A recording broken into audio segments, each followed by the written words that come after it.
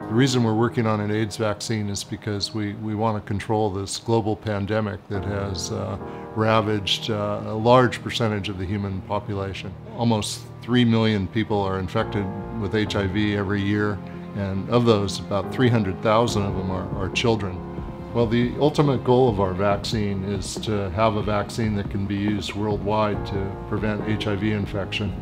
Uh, first of all, the virus is, highly variable, and we have to develop a vaccine that's effective against all the strains of virus that are uh, circulating in, in the world. The virus envelope protein itself is extremely complex. It's got 18 disulfide bridges and 26 glycosylation sites. So the virus is covered with a cloud of carbohydrate that prevents the binding of antibodies to the surface of the, the virus. And we we know that there are a few antibodies that are able to penetrate this cloud and neutralize the virus, and we have to develop a vaccine that stimulates those antibodies and inactivate the virus.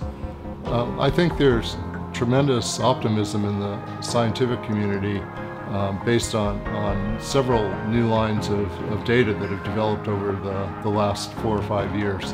Uh, first was the successful RV144 vaccine trial it was carried out in Thailand and showed that it was possible to prevent HIV infection by vaccination. In addition, the, the 3D structure of the HIV envelope protein was finally solved after many years of effort, and that's provided a, a roadmap of how to formulate the vaccines and how to create vaccines that, that target the sites where the neutralizing antibodies bind. In addition, a rare group of individuals called elite neutralizers have been identified those people are able to make antibodies that are really effective in, in destroying the virus. And we now know where those antibodies bind. And the new vaccine program we've started at, at UC Santa Cruz uh, takes advantages of all three sources of new information.